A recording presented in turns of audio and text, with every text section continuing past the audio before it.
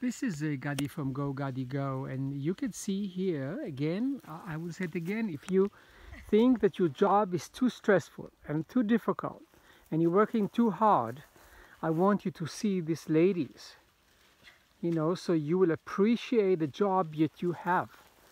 Sometimes sitting in an office or doing other things, but this is not a young lady, you know, this is not a young lady you know, and they work very hard. And they're walking up the hill, you know, namaste. Namaste. Namaste. Yeah, this is really hard work.